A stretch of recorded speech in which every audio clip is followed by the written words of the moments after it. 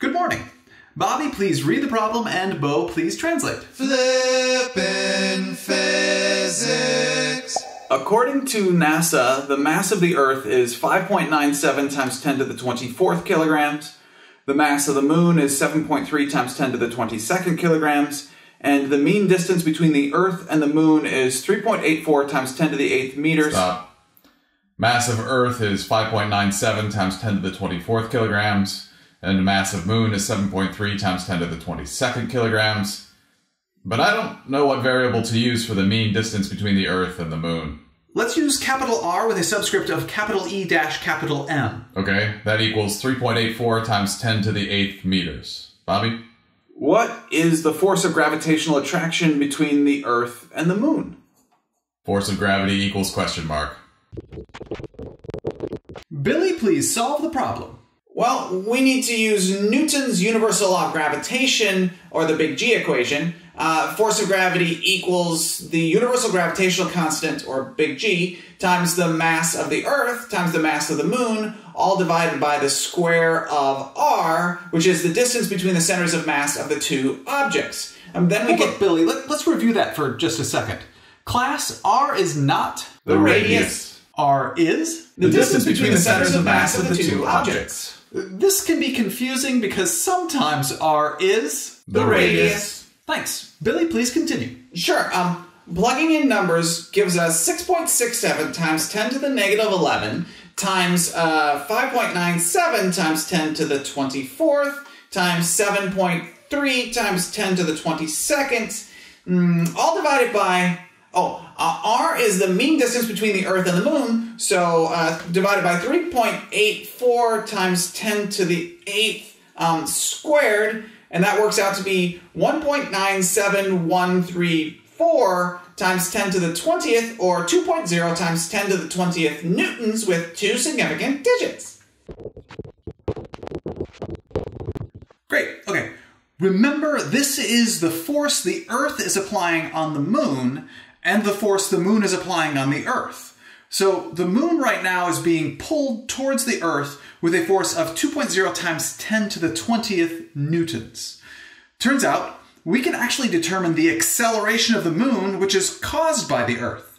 The net force acting on the moon from the Earth equals the force the Earth exerts on the moon, which equals the mass of the moon times the acceleration of the moon.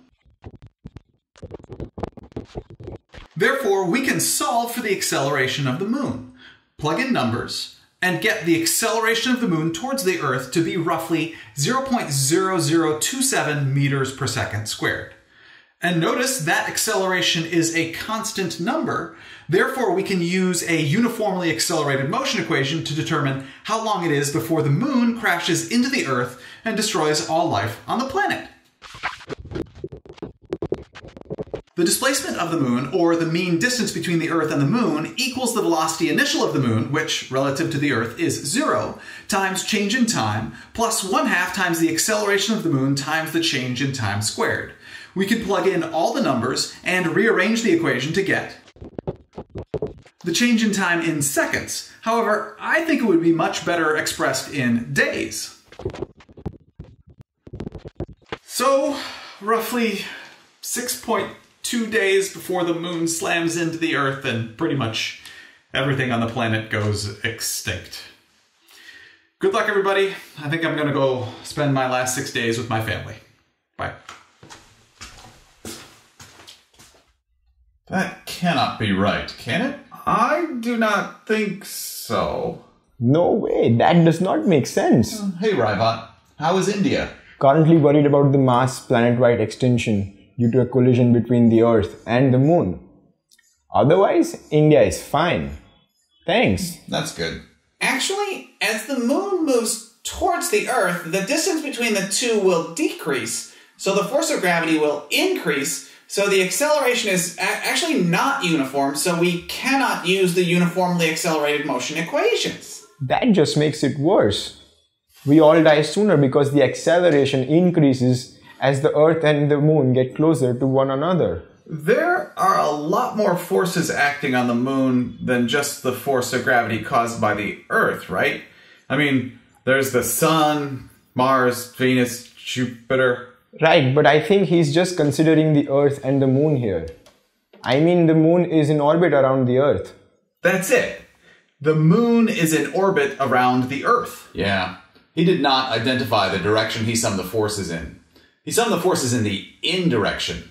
Therefore, the acceleration of the moon is a centripetal acceleration. It is the acceleration which keeps the moon moving in orbit around the Earth. The inertia of the moon tries to keep it moving in a straight line, and the centripetal acceleration keeps it moving in a circle. The net force in the in direction equals the force the Earth causes on the Moon. Therefore, the force the Earth causes on the Moon is the net force in the in direction and is therefore the centripetal force which causes the Moon's orbit. I get it. We are all not going to die in 6.2 days. That's good. But in, in like 7 billion years, our sun will expand into a red giant star and kill us all. Right, but before that, the sun will heat the Earth up so much we won't have any atmosphere left, and that will kill us all. Did y'all notice the R in Newton's universal law of gravitation actually en- actually did end up being the orbital radius of the moon around the center of mass of the Earth Moon system in this problem. I mean, sometimes R is the radius. Thank you very much for learning with us today. We enjoyed learning with you.